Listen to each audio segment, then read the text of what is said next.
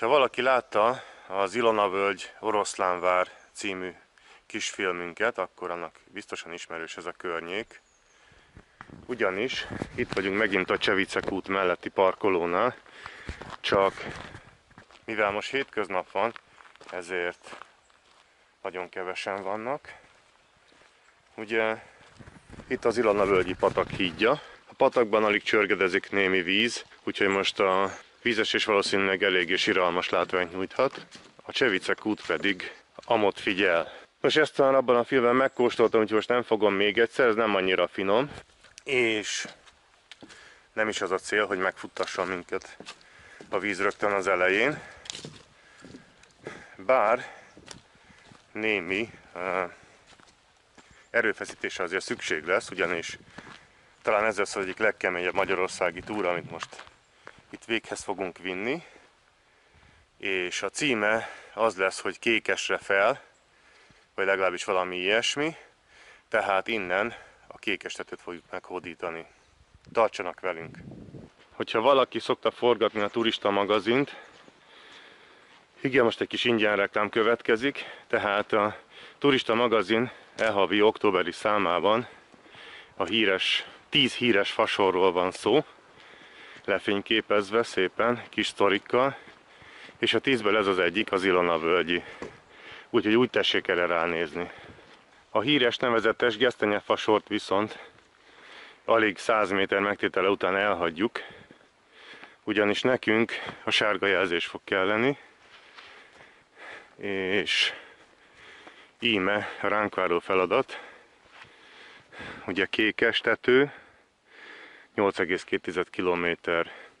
És ez persze a kékest is jelenti. Ugye kékes tetőt azt nagyon jól tudjuk, hogy a kékes tetőnek a településrészt hívják, míg a csúcs neve kékes. Ugye a Wikipédia ez igen dörgedelmesen közölte, hogy sokan a csúcsot is kékes tetőnek hívják, mondjuk elég logikusan nyilván, de nem. Az a település rész. Nos hát sajnos a fák közül nem nagyon látszik még a célunk, meg hát ugye 8,2 km az nem kevés, ráadásul ez mind emelkedő lesz. És lát, úgy látszik, hogy itt sokan az emelkedő előtt már könnyítettek a dolgukon, legalábbis a jelekből erre tudok csak következtetni. Nos, az Ilona völgyi patak itt fog búcsút mondani nekünk. Most itt igazán szerencsés, hogy alig van benne víz, úgyhogy nem lesz nagy gond az is.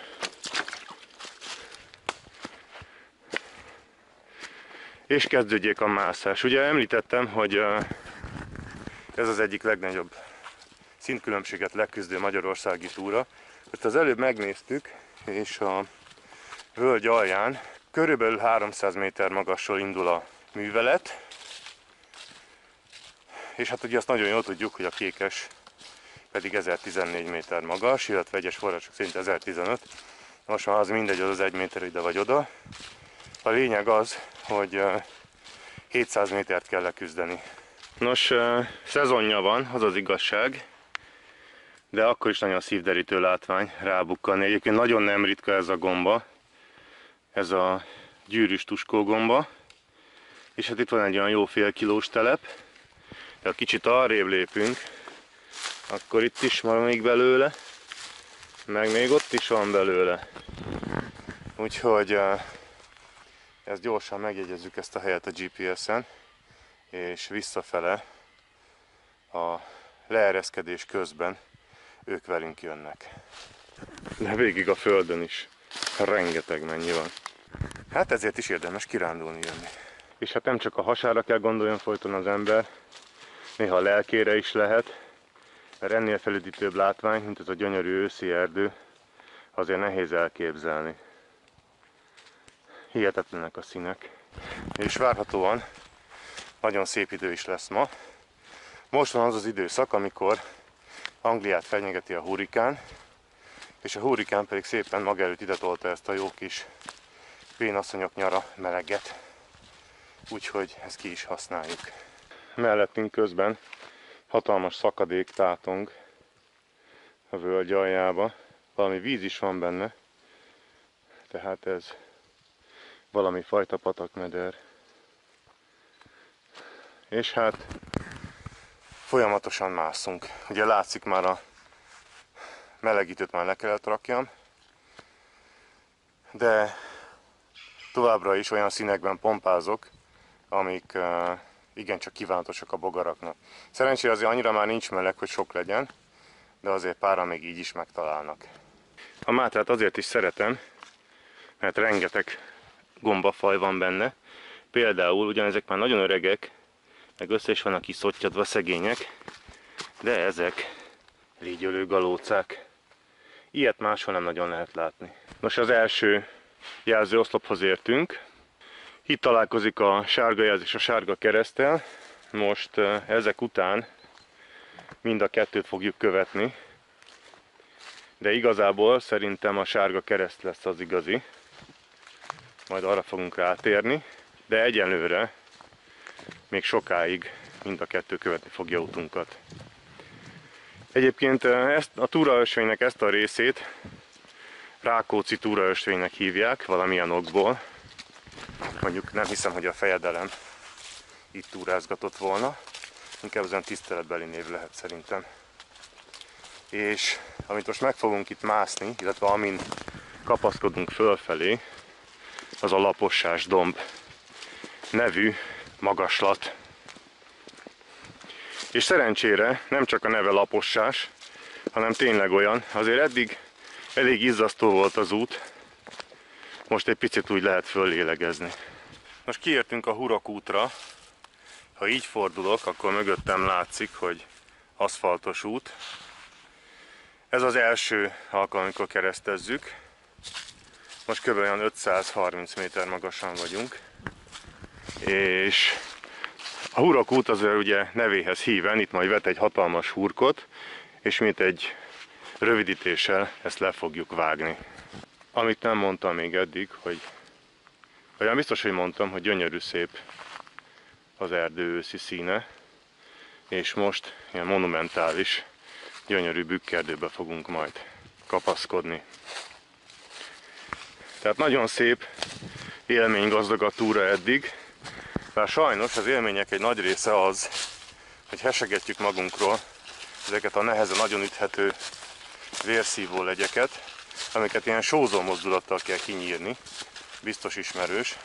Sajnos ezeknek ilyenkor van a szezonja, ilyen szeptember-októberben. Gondolom, hogy igyekeznek még következő generációról gondoskodni. Csak azt nem szeretném, hogyha ezt az én vérem hullatásával kell biztosítsam. Úgyhogy eddig én állok nyerésre a csatában. Mutatok egy körképet, hogy milyen helyen járunk.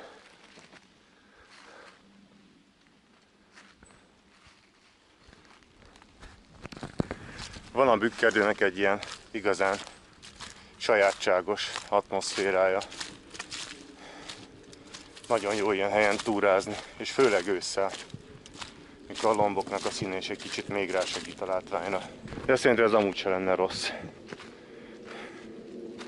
Ja, és uh, ilyen egyelő ritkítás volt valamikor, nem olyan régen, és éppen ezért az itt maradt tuskókon egyszerűen mázsa számra van a gyűrűs tuskógomba. Úgyhogy a bőség zavarába csak kapkodom a fejem ide-oda. De tényleg visszafele olyan leszek, mint egy málhás szamár. És völgy lassan keresztezi a hurokutat másodjára. Itt vagyunk a rózsaszállás nevezetű kis házikó mellett.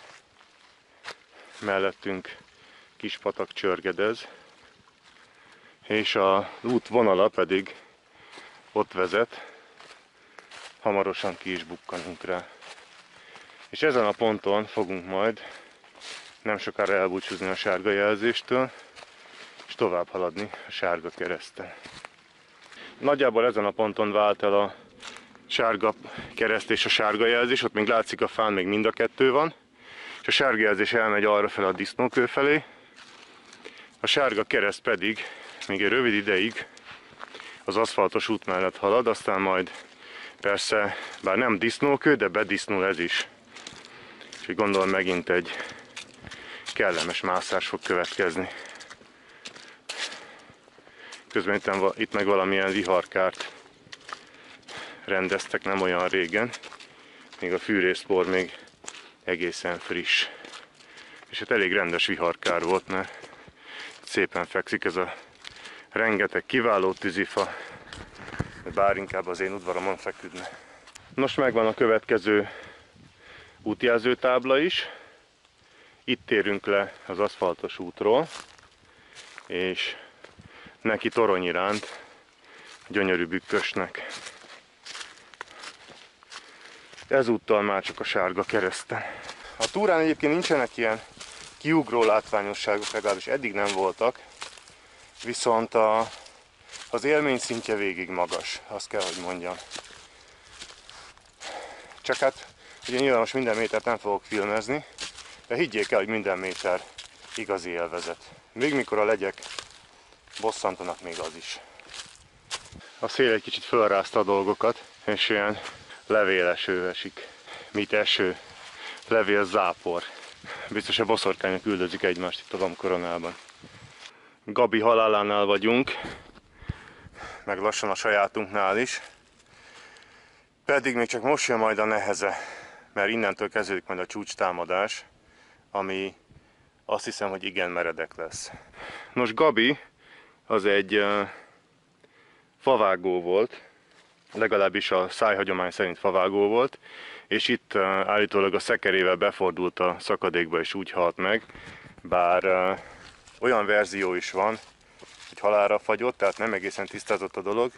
Annak ellenére, hogy az esemény az 1929 és 1930 között kellett, hogy történjen. 29-es királyi térképen még nem volt rajta ez a név, és a 30-ason pedig már igen, tehát most vagy addigra tudatosult a hatóságokkal, vagy valóban tényleg akkor történt a dolog. Minden esetre ehhez képest eléggé, hogy is mondjam csak, homályos a történet. Másrészt viszont a tábla az egy aféle helyesírási vitát is indított, hogy jó-e így kötőjellel írva ez a név, vagy nem. És mivel ez egy helyet jelöl, ezért úgy egyeztek meg, hogy ez így helyes, tehát kötőjellel kell írni. Tehát ez nem egy egyszerű birtokos szerkezet, hanem ez egy helynek a neve, és így rendben van a kötőjel. Ez az a pont, ahol egyébként elhagyjuk a sárga keresztet is, amely itt errefele megy tovább, és a miénk a kék kereszt lesz, az vezet a csúcs felé. Ott van a borzalmak kapuja, a két fán a kék keresztel. Na majd meglátjuk, hogy mennyire rossz ez a kaptató. A kék keresztes ösvény egyúttal tanösvény is, és az imént hátrahagyott tábla tanúsága szerint most éppen a kőtengert járjuk. És hát valóban kőből aztán van itt éppen elég. Egy aféle ilyen kőfolyásos, kőlavinás oldal.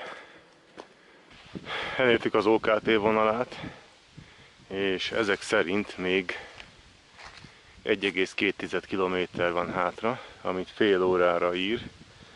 Hát ez azt jelenti, hogy továbbra is elég vészes emelkedő várható.